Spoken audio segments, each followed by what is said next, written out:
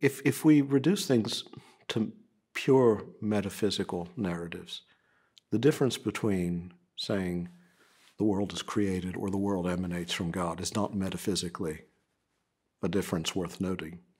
In either case, you're talking just about ontological dependence. The creation depends upon God for its being.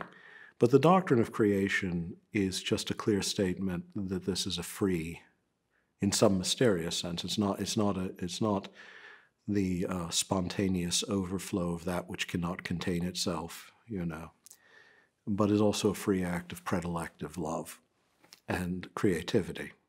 Uh, any narrative of creation, I mean, that's what the, the term creation from nothingness means. It doesn't mean that there was some substance, nothing, which was then fashioned into a world. It just means that there's nothing other than uh, the divine uh, as its source, and therefore it's not necessitated by anything either external or internal to the divine nature. It is a gesture of uh, gift and, and uh, creative superfluity, and therefore love.